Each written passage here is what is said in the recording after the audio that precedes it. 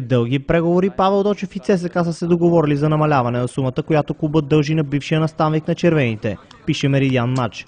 Дочев е направил пореден реверанс към Титан и се е съгласил на разсрочено плащане, но ако изплащането на траншовете не започне до понеделник, всички оговорки отпадат. Димитър Борисов потвърди, че е постигнато споразумение с Дочев. От ССК се разбрали с адвоката, който представлява бившия защитник. Той чака да му бъдат изплатени 180 000 лева. Подвизаващия се в Германия специалист е поставил условия до понеделник да бъде преведена част от сумата.